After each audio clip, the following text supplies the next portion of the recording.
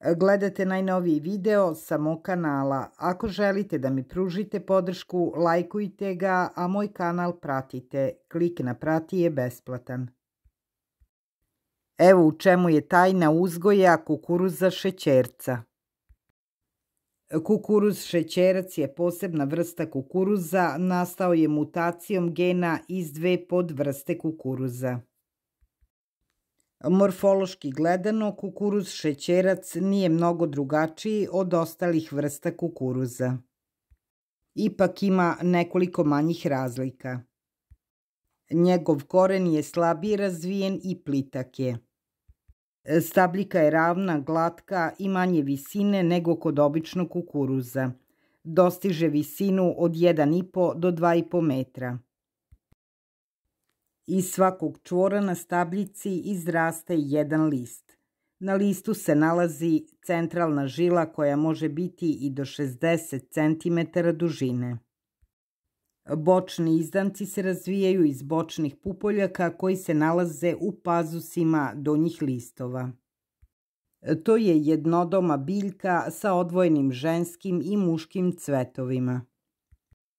Ženski cvetovi nalaze se u središnjem delu stabljike na klipu u pazuhu lista, a muški cvetovi formiraju metlicu koja se nalazi skroz na vrhu stabljike.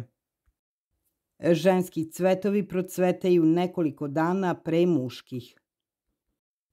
U zavisnosti od vremena, period cvetanja traje od 7 do 10 dana. U tom periodu se izlučuje polen i vrši se oprašivanje ženskih cvetova pomoću vetra. Hibridi kukuruza šećerca mogu biti rani, srednje rani i kasni.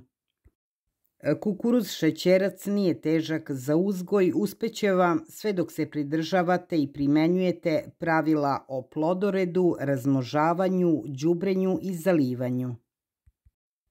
U tome je i tajna uspešnog uzgoja. Kada je plodored u pitanju, šećerac ne sme da dođe na isto mesto dve do tri godine. Setva šećerca obavlja se u više navrata od druge polovine aprila sve do sredine jula. U zavisnosti od teksture zemljišta seje se na dubinu od 3 do 5 cm. Razmak zavisi od sorte hibrida, ali najčešće je to oko 60 cm. Razmak između redova je 70 cm. Ako ga sejete u svojoj bašti, najmanje treba da ima 6 redova da bi se uspešno oprašio. Šećerac ne zahteva istu količinu vode tokom svog razvoja. Traži mnogo vode kada je u periodu intenzivnog vegetativnog rasta, a to se poveća neposredno pre cvetanja i svilenja, u toku oplodnje i u početku nalivanja zrna.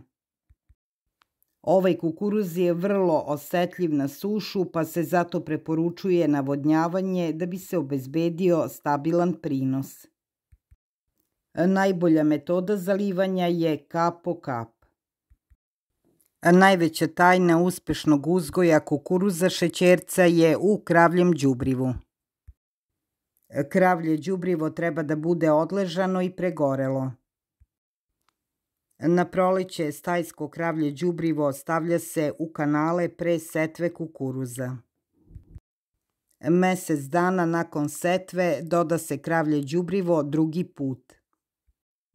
Kada kukuruz poraste od 1,5 metar do 2, stavljamo stajsko kravlje đubrivo treći put. Stajsko kravlje đubrivo stavlja se u redove između kukuruza. Kako kiša pada, đubrivo se razgrađuje i prihranjuje kukuruz.